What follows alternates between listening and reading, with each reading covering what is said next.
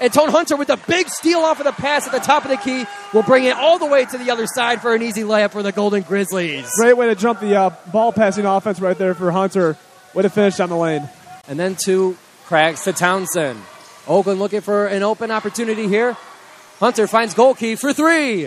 It's good for Gohlke. There's Gohlke again calling his own number with a three point shot. He's made his last three of three point attempts. So they're on a run right now once again.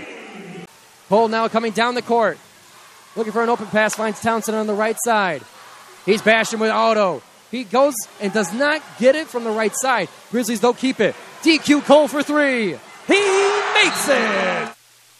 Shot there DK Cole, putting the Grizzlies within three here in the second half. Great shot by, great shot by him. DQ Cole from deep three. Early in the season, I had an interview with PA announcer Kevin Beers on the Joe Mo Show, and he told me with DQ Cole, we were more talking about how to announce, how to pronounce their names and how he announces them. But he told me DQ from deep three.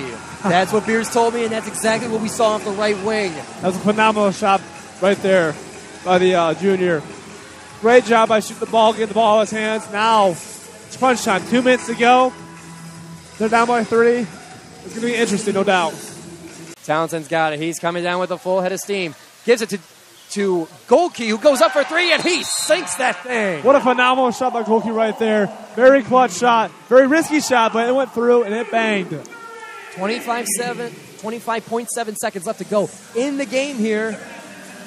And that shot from Gohlke is going to bring it now within five.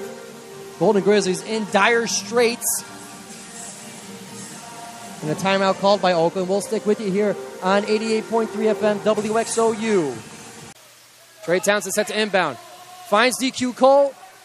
Bounces off to Tone Hunter. Gohlke in the same spot for three. He's got it from the right. What a great shot by Gohlke right there. Another clutch from the three.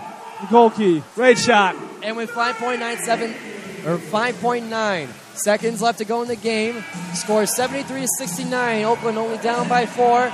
But this is where every fraction of a second, every moment counts for the Golden Grizzlies. Can they make the comeback? Stick with us on WXOU Sports to find out.